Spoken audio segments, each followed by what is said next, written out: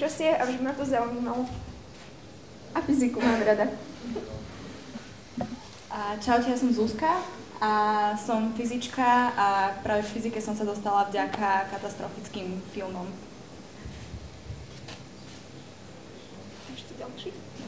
No, a potom sme sa stretli, čo bolo super, pretože sa, sme sa navzájom dozvedeli každá o tej druhej práci. Ja som sa dozvedela veľa o meteorológii a o počasí a veľa som sa naučila a Zuzana sa naučila, ako sa robia filmy. A začali sme spolu robiť na projekte Tresky plesky, čo je vlastne 13-dielný animovaný seriál. Je to o prírodných javoch a o katastrofách. Vždy je každá katastrofa spravená nejakou vtipnou formou pre deti. Vždy tam vystupujú rodiny, napríklad kvapiek alebo vločiek.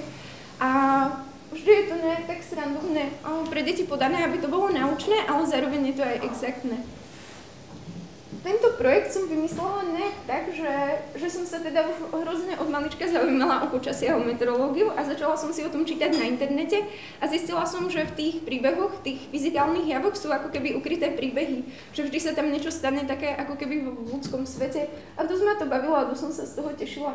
Tiež som vtedy robila veľa s deťmi, o, také workshopy animácie a tam som stretávala deti, ktoré sa o veľa vecí zaujímali. Napríklad som stretla chlapčeka, on vedel hrozne veľa o, o parazitoch, ktoré, ktoré žijú na žralokoch a celá mi to porozprávala. Ja som si hovorila, že, wow, že to je super, že ten chlapček toho vie viacej než ja a že deti sa fakt do veľa vecí zaujímajú.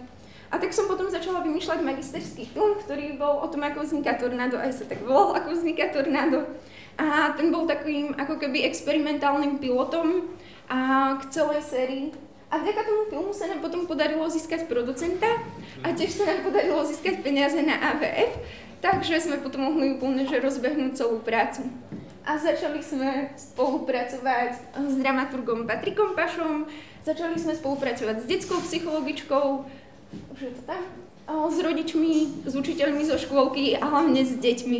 To je boli najdôležitejšie lebo sme chodili po školách, ukazovali sme im tornádo a deti nám potom písali, že, že čo si o tom myslia, čo by ešte chceli vedieť. A tak, že, tak boli vlastne takými našimi akože hlavnými dramaturgmi. A tiež nám tie deti kreslili obrázky, že ako si tie veci predstavujú a z toho som aj dosť vychádzala pri vytvarných návrhoch, lebo tie deti to vedú najkrajšie nakresliť než ja. A tiež sa mi páčil ten princíp toho, že, že deti si vždy vyfarbujú to, čo je pre nich dôležité, že niečo nechávajú voľné, keď sa im už nechce vyfarbiť, niečo potom vyfarbia úplne že celé a tiež používajú, no toto nie je vidno, ale používajú také jeté farby, že, že vôbec nerozmýšľajú nad tým, že či môže byť rúžová pri zelenej alebo nemôže a proste to tak pocitovo všetko robia. A tak to aj ja potom robím. No, ale vlastne najväčší problém bol, že nám chýbal fyzik a potom sme stretli Zuzanu.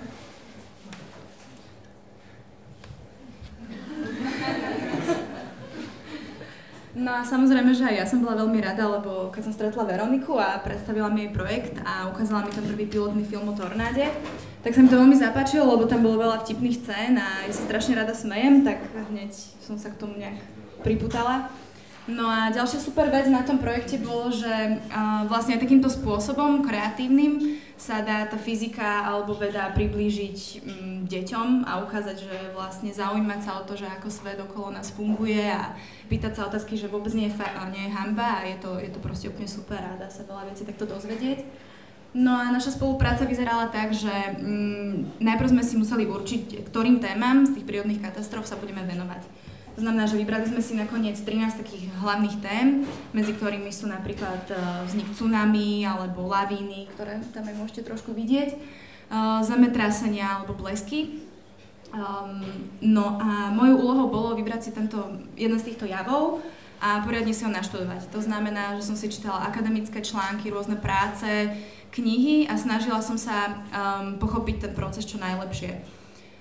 Ďalšou dôležitou vecou bolo um, vystihnúť, ktoré časti toho procesu sú najdôležitejšie, lebo sme ich chceli zachovať aj v tých jednotlivých príbehoch, lebo sme tú fyzikálnu podstatu tam chceli zachovať, ale tým deťom to prezentovať tak, aby to pochopili.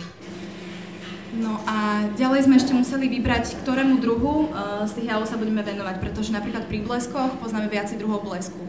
A potrebovali sme, potrebovali sme vybrať práve taký, na ktorý sa dá taký príbeh najlepšie vymyslieť alebo ten príbeh zakomponovať. No a potom, keď už som aj všetko pochopila, a teda myslela som si, že tomu rozumiem, tak sme sa s Veronikou stretli a všetko som jej vysvetlila a ona sa veľakrát pýtala rôzne veci, ktoré ani mne ešte neboli jasné, tak potom znovu som si ďalej išla študovať. No a keď som jej už uh, vysvetlila všetko aj zdôraznila tie časti, ktoré by mali byť v tom príbehu, uh, tak uh, vlastne hlavnú úlohu už som prenechala jej a ja už som ďalej dohľadala z takej odbornej stránky na ten projekt. No a ja som bola veľmi rada, že mám Zuzanu, lebo som nemusela tráviť hodiny za počítačom a čítať si všetko, lebo to neviem ani poriadne. A ona mi vždy všetko super vysvetlila, takže som tomu rozumela a tiež sme našli to, čo je najdôležitejšie pre tie deti, vždy taký ako keby princíp to, toho každého javu, že tam nie sú, všetky, nie sú tam všetky vzorce alebo koľko má svak stupňov a tak, ale sú tam fakt, že len, len ten najdôležitejší princíp.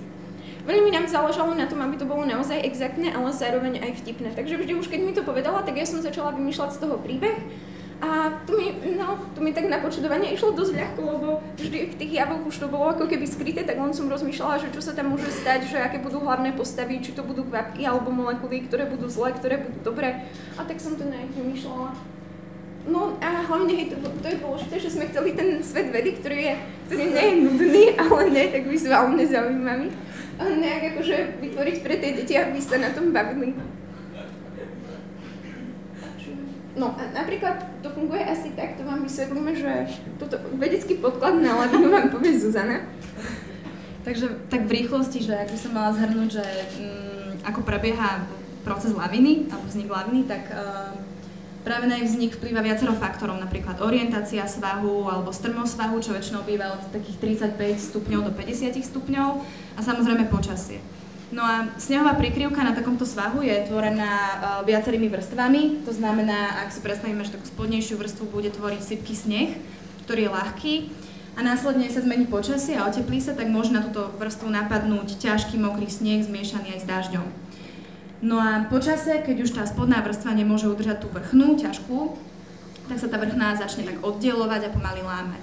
No a vtedy stačí, aby po nej prešiel lyžiar alebo bol tam nejaký veľký balván alebo kus snehu a celá vrstva sa odlomí a začne sa klzať po tej spodnej, začne zo sebou spodné časti tej snehovej pokrývky a všetko sa to začne miešať a hrnúť dole svahom. Čiže to je taká skrátka, že ako to vyzerá. No a k tomu taká detská paralela alebo toho príbehu, to už vám Veronika povie.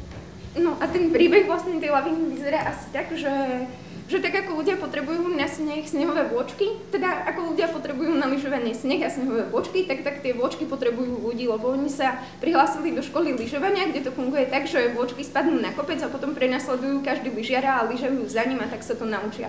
Ale táto rodinka, tá naša hlavná, tá tu nejak poplietla a spadli na tú druhú stranu kopca, kde nie je svak, kde je presne ten zlý uhol a už sú tam napadané tie vrstvy, ktoré hovorila Zuzana.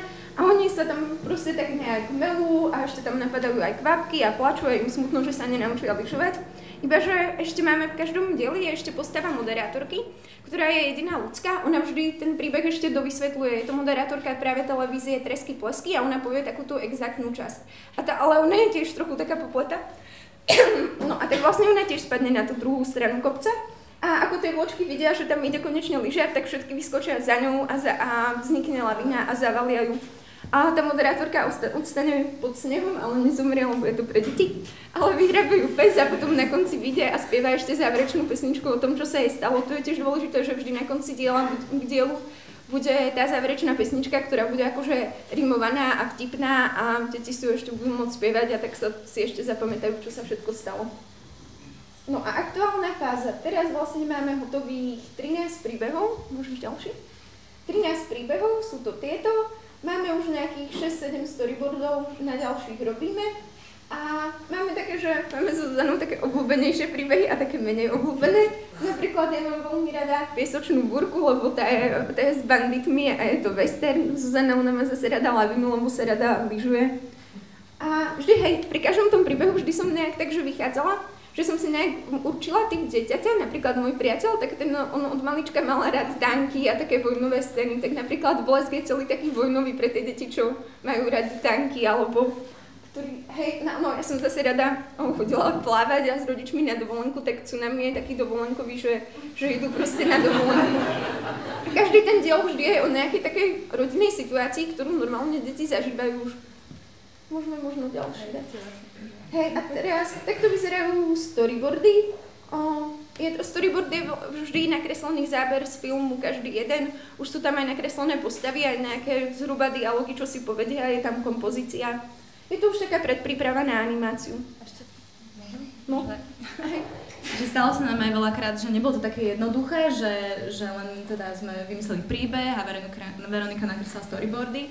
Ale stalo sa nám napríklad pri jednom dieli pri sopkách, myslím to bolo, že všetko už bolo vymyslené, nakreslené storyboardy a potom sme sa ešte na to spolu pozreli a teraz sme zistili, že vôbec to nesedí do tej fyzikálnej podstaty, ani tie veci tam neboli úplne zachytené tak sme rozmýšľali, že ako zmeniť ten príbeh, aby to tam sedelo. Lenže vôbec sa nám to nedalo, ani keď sme dlho rozmýšľali, tak potom sme si povedali, že dobré, že kašľať na to a že musíme to prerobiť znovu a bolo treba vlastne vymyslieť celý nový motív toho príbehu. Takže niekedy to bolo naozaj na viacero takýchto fáz. Hej, to som aj ja zabudla, že niektoré tie príbehy mali aj napríklad, že 5, 6, 7 variant toho, že čo sa tam deje podľa toho fyzikálneho javu, že vždy som vymýšľala všetko, čo ma napadlo, potom sme to prešli aj s dramaturgom a on povedal, že toto funguje, toto ne. Tak nebolo to len tak, že hneď to napíšeme, aj to hotové. Častokrát sme to prerábali, aj western sme asi na 10 krát možno prerábali. No a ešte teda okrem tých storyboardov robím charaktery. Uh, je to trochu náročné, lebo tu v tomto, uh, v tomto seriáli sú vždy v každom dieli nejaké iné postavy, takže vždy musím vymyslieť celý, celý ten diel od začiatku, že nie sú tam nejaké hlavné okrem moderátorky. A vždy sa to snažím nejak, aby sa k sebe hodili, ale aj v, každé, v každom dieli boli trochu iné, lebo raz sú to zrnička piesku, raz sú to kvapky, raz sú to vločky. A toto je tak, ja ich vlastne robím podľa reálnych ľudí, tie postavy. Toto sú z dielu s tsunami, tam napríklad vidíte, no hlavnou postavou, to je teda rodina Pašových, to je môj dramaturg a ich synček, tam som ja, tak černovlasa, môj priateľ, aj moji rodičia a brat. A tu sú ešte jeho rodičia, jeho brat, takí naši dobrí kamoši, aj naša produkčná Simona Hrušovská, aj so svojou veľmi drahou korytnačkou.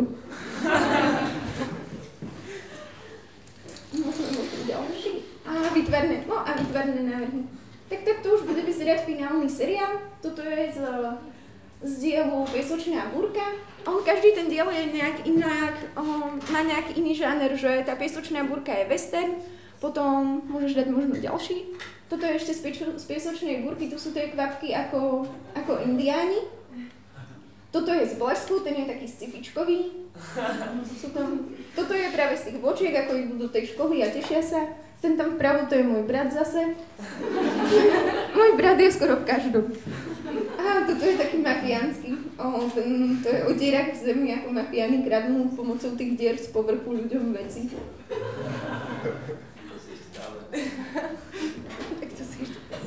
No a tak sme vlastne už nejak uzavreli prvú časť o tom, že ako robíme spolu na projekte a, a ja som teda, ja som režisérka, animátorka, ale ešte okrem toho kreslím komiksy a vlastne sa tým živím, no bavím na to. Toto sú nejaké také projekty, čo sme robili za posledný rok. Niečo som robila sama, napríklad um, pre Nissan, to bolo, no, režirovala to teda um, Vládia Plančiková, ja som dokreslovala do tých hraných záberov také drobné animácie, ale tiež robíme veľa aj s Andrejom Polenčikom a Andrejom Gregorčokom, napríklad na prvej, to je taký fakt super televízny cyklus, aj chodil teraz cez Vianoce telke. Aj to Morho sme, ešte môžeš dať naspäť, aj to Morho sme robili vlastne s Andrejom a s Mákou Orhovou.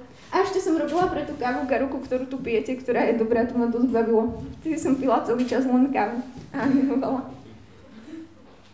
No, môžeme možno ďalšie a môžeš aj pustiť to video. Toto vlastne je taká, že, že moja posledná práca. Je to pre Goetheho inštitút, oni tam budú prezentovať nové nemecké komiksy a grafické novely. A vždy budú mať že poličku a hore na tým sa bude premietať. Ten názov, čo na tej poličke je. A toto bola fakt pekná práca, to som si mohla aj urobiť nejak, že podľa seba, že nemali nejaké že pripomienky, že takto chceme, ale dali mi voľnú ruku, tak ma to dosť bavilo. Ono sa tu tam bude tak, že celý deň rotovať. A ešte, ešte keď, ja neviem, moc nerada rozprávam tak o svojej robote, ale Zuzana hovorila, že musím, tak ešte poviem nejak, takže ako to funguje, že že teda väčšinou robíme aj s Andreom buď pre nejakých klientov, že prídu, majú nejaké zadanie, že to by chceli, tak vždy potom vymýšľame, že, že ten scenár, potom vymýšľame výtvarné návrhy a potom začíname animovať a, a tak nejak, vždy to nejak, ono sa to zdá, že je to taká, že super robota, no je to super robota, aj sa to tak zdá, že je to super, ale niekedy je to celkom náročné, keď nemáme dobrých klientov, alebo keď treba všetko 300 krát opravovať a tak, no. A možno, možno aj už to išlo asi aj dvakrát. To však je to pekné, nie? No a teda ešte okrem teda animácie, kreslím rada komiksy už dosť dlho a dosť ma to baví a teraz takým môjim najväčším komiksovým projektom je práve Super Comics, ktorý už teraz vlastne, ako o tom hovorím, je v tlači, takže sa z toho teším. A ten komiks som začala kresliť, môžeš dať ďalší, som začala kresliť do takých malých zošitkov, Uh, vlastne som si tak kreslila, čo sa mi... Ja už som aj predtým kreslila komiksy, ale potom som chcela, že spravím niečo také väčšie a začala som kresliť taký svoj život, ale prepojený s nejakými takými mojimi vymyslami a kreslila som to do takých malých zošitkov. Ja som vtedy totiž pracovala v Prahe v jednej galerke a tam som bola denne 8 hodín a niekedy to bola sranda, ale niekedy dosť nuda, takže som si to tam mohla kresliť v kľude. A na ďalšom obrázku môžete, potom som, hej, no a potom som to už mala nakreslené, tak som to chcela vydať, tak som si peniaze zohnala cez startovač, ale, pred, tak, ale pretože neúplne rada píšem a nevedela som to nejak tak normálne spraviť, ako to tí ľudia robia, tak som to nakreslila celé ako komiks, ako príbeh toho komiksu, ktorý sa chce hrozne vydať a nechcel stať na ocot a tak. A nakoniec sa teda vydá, teší sa. A ďalší? No a toto sú vlastne úplne, že to ešte nikto nevidel. Také výťazné obálky, že jedna z nich už je tiež v tlači. A ešte ešte občas kreslím plagáty, keď je treba. A tak. A toto je vlastne z môjho ateliéru na Dunajskej. Je tam super výhľad a celý deň kreslím a robím a ešte môžem sledovať počasie a vlhkosť na Lidli, to ma tiež dosť baví. Včera bolo, včera bolo 77%. A Zuzana vám teraz tiež povie o svojej práci.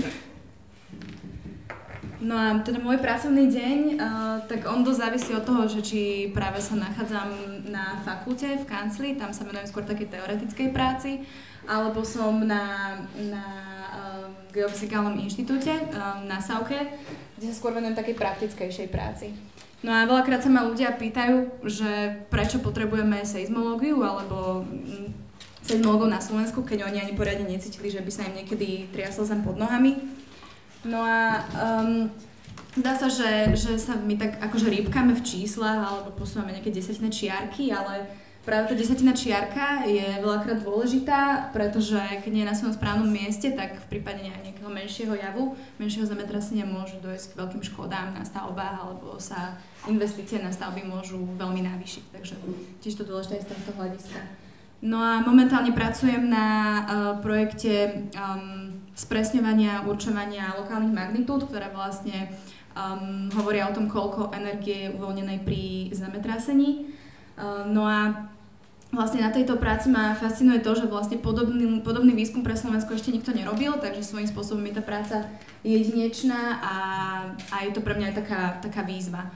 No a je taká dôležitá kvôli tomu, že, že výsledky z nej potom budú mm, slúžiť pre ďalšie výpočty. Eh, ktoré budú priamo určovať, ako sa budú dôležité stavby na Slovensku stavať, napríklad jadrové elektrárne alebo rôzne, rôzne hrádze alebo vodné diela, mosty železničné a cestné a všetké takéto. Čiže v prípade, mm, ak by to nebolo dobre spočítané alebo určené, tak, tak v prípade by, by mohlo dôjsť k veľkým škodám. Takže je celkom dôležité. Ja som rada, že aspoň takto môžem trochu tú vedu posúvať ďalej. Áno, lebo Zuzana, ona zlepšuje svet, aby ste vedeli. No a tak ešte na záver asi chceme povedať, že, že sme hrozne radi, že sme začali robiť spolu, že sa nám tak splnili sny, lebo ja som vždy tak chcela študovať počasie a meteorológiu, len mi to nevyšlo. Zuzana mala rada filmy, tak sme si to nejak tak vymenili a naučila sa každá o tom druhom. o, o tej druhej profesii. A tak vám chceme odkázať, že robte, čo vás baví a zlepšujte klímu a že všetko sa dá. A ďakujeme. Ďakujem.